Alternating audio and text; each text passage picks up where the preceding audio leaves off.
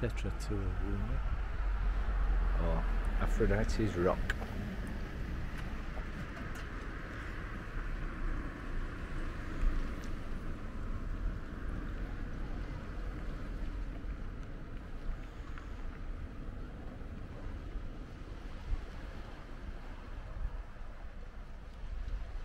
Thirtieth of November.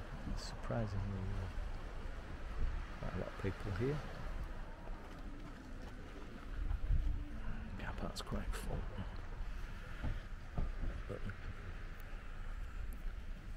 Coffee shop, snacks, ice creams.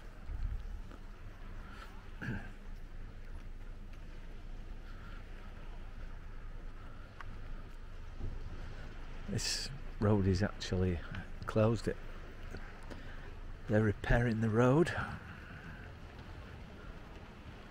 Keep moving it back.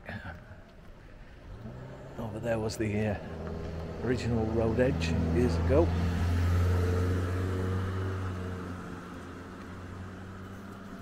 It's a bit, a little bit overcast today. Still very warm. But, uh,